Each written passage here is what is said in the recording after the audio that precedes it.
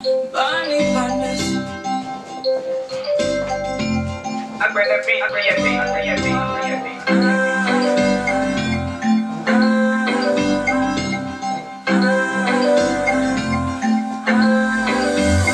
I'm a teaser and a pleaser.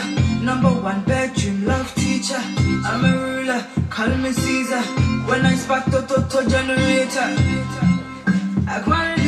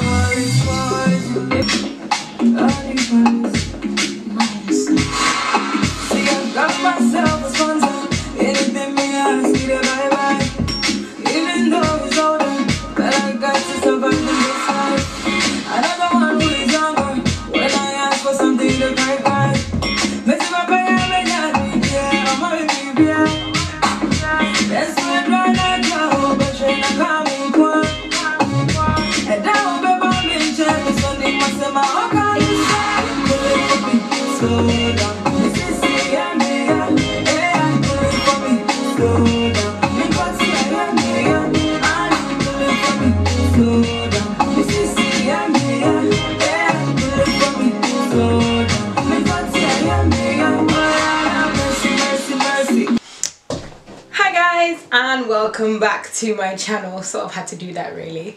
Um, not sure why I even did that but yeah. Welcome back to my channel. Thanks for all the love on my first and second year of uni videos. I absolutely loved it. Thanks for all the online and offline support. I'm so glad that you know you guys could learn one or thing, one or two things from it.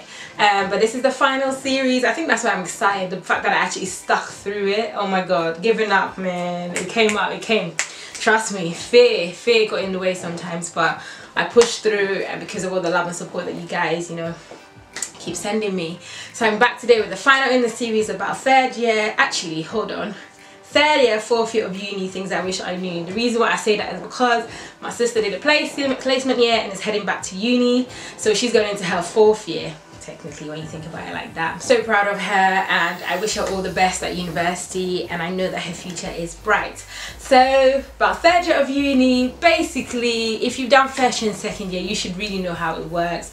If you want to watch my first year and second year of uni videos, everything that I've said in there, I would advise that you bring it into your third or fourth year of uni because you know what it is about now you know what you have to do you know what you need to do to when looking for a house. If you don't know have a look at my second year of uni videos making friends you know if you're going into if you're going into fourth year possibly the friends that you had in third year are have left now. So you have to sort of make new friends which you know I, I, I mentioned that in my first video.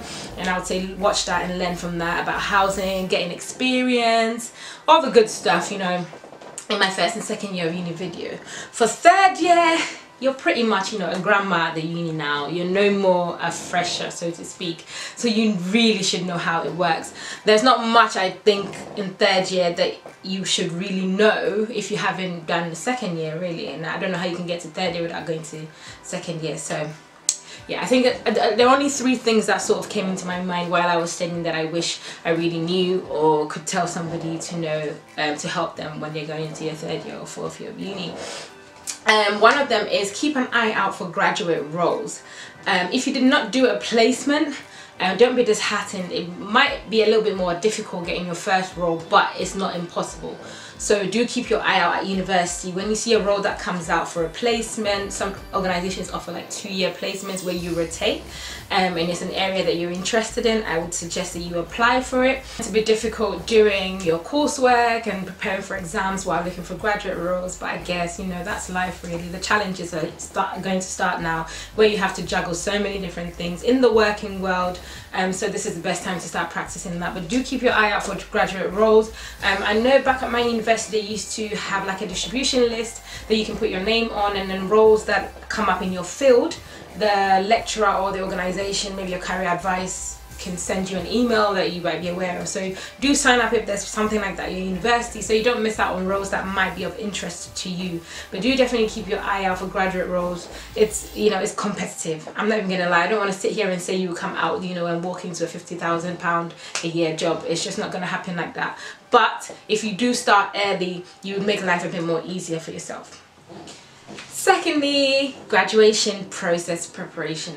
Do not leave that to the last minute. Once you start receiving emails to say the gowns are going to be this price, the tickets are this price, you're entitled to this tickets, make sure you get on it. If you know 30 people are attending your graduation, try and get 30 tickets for them. If some people want to sit outside, fair enough. Um, but just make sure you get all the tickets that you need. Make sure you get your outfit ready. If you're going to receive awards prior to the actual graduation ceremony, then make sure that you have all that ready. You know where people need to be. If your parents, if your university is far out and your parents need to come down the night before, arrange that. Try and get them a good deal of the hotel where it's situated, where they can, you know, you can all be around each other.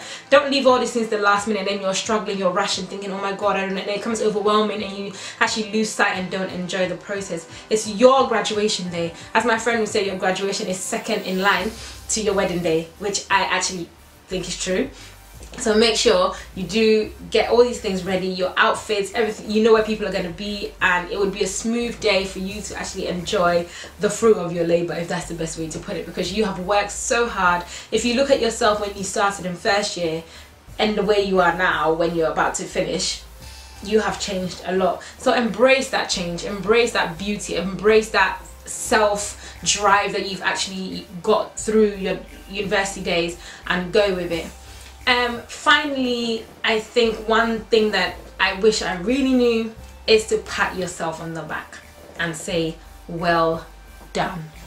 Look, the amount of people that drop out of uni, if you don't believe it, go and ask your lecturer statistics.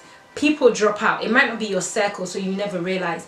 You have made it from year one, you made it to year two, now you did your placement year if you did, and now you're in year three or four kudos to you. Like if no one's gonna say well done i'm saying well done to you. You have done so well. I'm pretty sure there were times when you wanted to give up. Yes because i've been there. I'm pretty sure there were times when you thought why did i sign up for this? Yes i've been there. But you know what? You stuck through and you did it. Now is your time to enjoy and say well done just take it all in. You've done something that a lot of people are not able to do due to circumstances beyond their control. You have been in that position. Like god has blessed you to be in that position where you're able to come out and say look i have a degree in this. I have a degree in that. I know a degree is not everything but it's the beginning of so many things to happen in your life. So pat yourself on the back and say well done take time to actually enjoy the moment. In third year, unfortunately, due to the hassle and bustle, left, right, center, sometimes you forget and lose the process. But enjoy the process. It's going to be stressful. It's going to be tough. It's going to. You would share tears. You share shed tears. Wow, Samira. You would shed tears because you want it so bad and you, you don't even know what to do. But make sure that you speak to your parents speak to your mom and dad you know times when you're not feeling your your best. Times when you feel like you, you doubt yourself. Times when you feel like you're not confident enough to push through. Speak to them. Speak to your close friends as well. And let everyone help each other and push each other. You're all in the boat together. And trust me when you do come out of it you'll look back and think wow i remember those days. Like i remember those days when i used to get to the library like 6 a.m 7 a.m and then I'll go and reserve a seat for my friend and her other friend and we would steady and steady up until about three half three and I've got to change because I used to work in M&S at the time and I used to go back and change and then go and do my four to eight shift.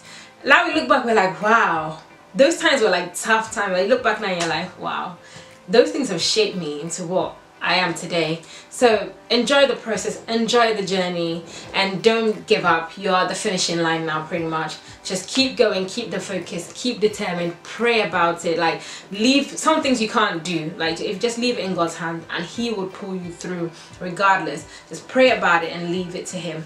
But this is all I have for my third year of uni. If you want to know other things, I would say I would suggest watching my first and second year of uni to bring this all together for you. And thank you so much on this journey. I look so forward to seeing you in my next video, which I'm not sure what it would be, but hey, um, I'll come back with something bigger and better for you lot.